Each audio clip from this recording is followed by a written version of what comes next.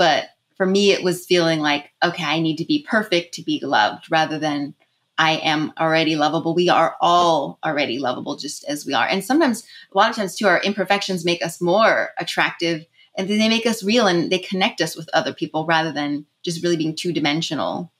Yeah. So how how did you begin to heal from that? Or how do you teach people to heal from like releasing those limiting beliefs and you, you know what I mean? Like how do you shift that belief? It's a lot because everyone's so different. It's really going back um, into, you know, we, we sometimes with my clients we'll do meditations or we do questions, answers, and exercises and activities to really get deep down. But a lot of times there is that first, uh, you know, or a few first experiences when you're in maybe childhood or you're in middle school, high school, where you're having these experiences that are affecting your self worth and how you see yourself as an individual. So, a lot of it is the inner child healing, shadow work, and writing a new story that you recognize. Like for me, like I was bullied in middle school, and that made me feel unlovable. Like, oh, there's something wrong with me, rather than recognizing that was about them. So then I was able to kind of take my power back when I reprogrammed basically my story in my brain.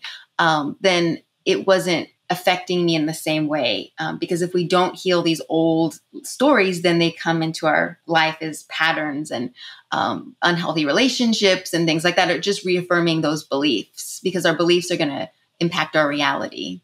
Yeah, I think it's so powerful that that reprogramming stories. Um, how do you?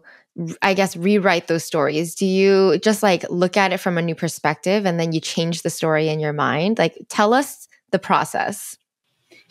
I don't know if we have enough time to do it. I'll try as much as I can. Um, a lot okay. of it is in the workbook. Deeper, yeah. Yeah, tell us what's in the workbook. yeah, so I can actually, well, I can get it in a second, but the workbook has um, different chapters that focus on different things. So, like limiting beliefs. So, you're doing exercises and activities that bring you back into those times. Um, and that can be part of the reprogramming of your brain. You're looking at it from a different perspective. You're putting a lot of those limiting beliefs on trial, like you're challenging them. You're looking for evidence. Mm-hmm. Is this mm-hmm. really true? Am I really unlovable? Yeah.